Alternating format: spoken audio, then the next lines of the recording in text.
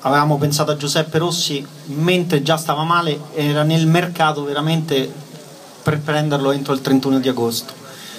Edoardo è molto amico del presidente del Villarreal e quando ha chiamato il presidente del Villarreal eh, lui stesso è stato un po' dice, sorpreso da una chiamata di un calciatore infortunato, dice sì, volete comprare un calciatore infortunato?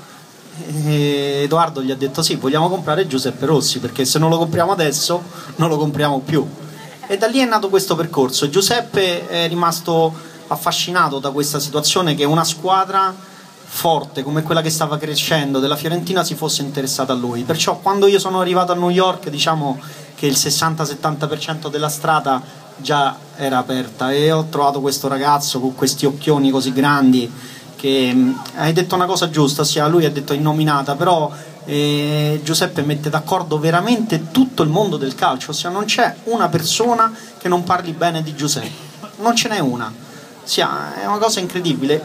Calcio, io ero direttore della Roma e eh, mi viene su nel mio ufficio un giorno Daniele De Rossi e mi dice per fare il salto di qualità dobbiamo comprare Giuseppe Rossi. Io ho detto ma noi non ce lo possiamo permettere Giuseppe Rossi. Chiamai comunque presidente del Parma che ci chiese una cifra folle perché lui aveva un riscatto dal Manchester United e per esercitare quel, quel riscatto doveva poi rivenderlo a una cifra più forte. Questo ti fa capire che quando dei calciatori tra di loro sanno quanto è forte un altro calciatore è la dimostrazione del valore tecnico di Giuseppe. Tra l'altro Daniele, guarda,